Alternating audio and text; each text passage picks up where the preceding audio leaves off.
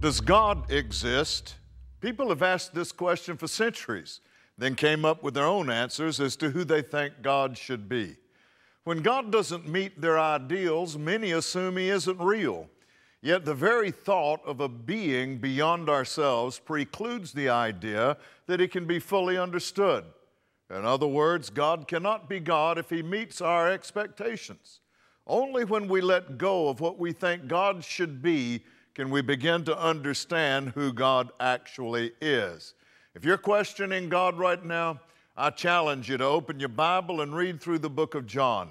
Ask the real God, the God of the Bible, to stand up in your life, and He will.